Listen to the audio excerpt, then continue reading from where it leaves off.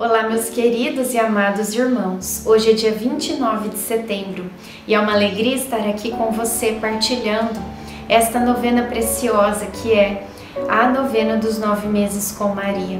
A oração mais linda que a gente faz durante o ano todo, né? É muito bom estar com Maria, sempre caminhar com ela, né?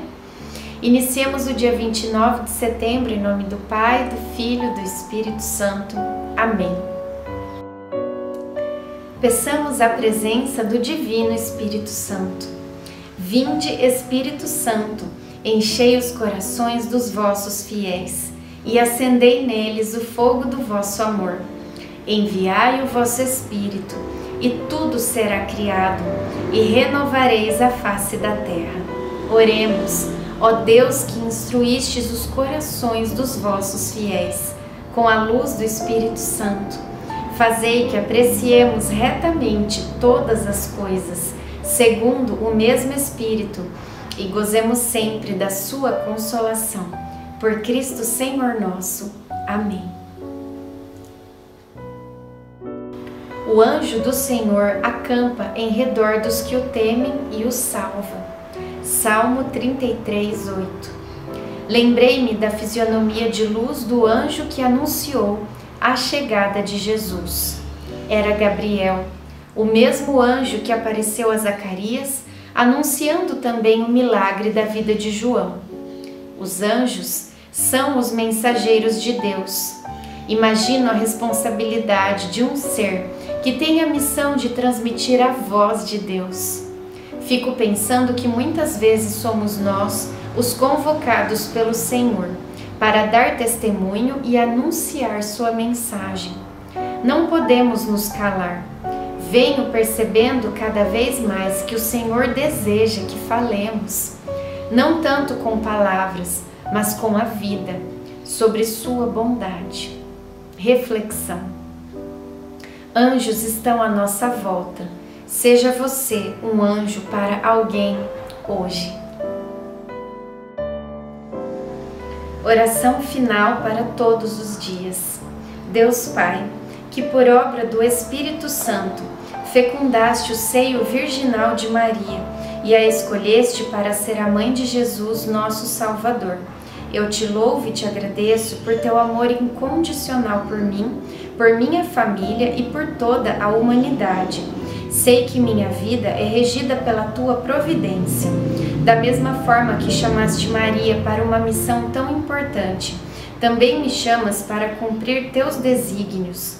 Quero ser fiel a ti.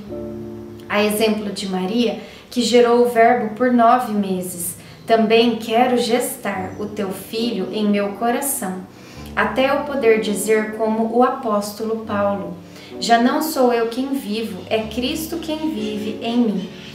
Nesta novena em que eu acompanho diariamente os nove meses da Virgem Imaculada grávida, eu te peço a graça. Faça agora o seu pedido para Nossa Senhora.